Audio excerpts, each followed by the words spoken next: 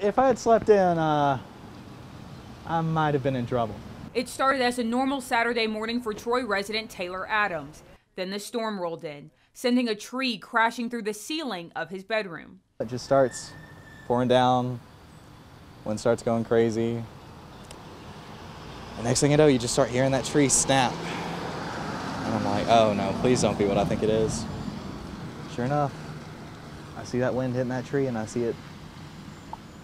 It was weird. It was like kind of like that adrenaline rush just started kicking in. Everything just started, saw it slowly coming down. And next thing I know, as soon as it comes down, everything just gusts. Yeah, it was, it was pretty out there.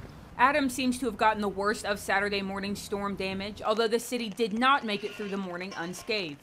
Crews like the one behind me worked throughout the morning and into the afternoon, restoring power and clearing fallen trees following Saturday morning storm.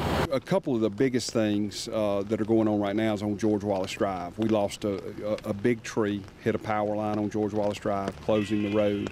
So we're in the process of getting that back up uh, and going. They're working on that right now. We had two trees go down um, on George Wallace that got into lines.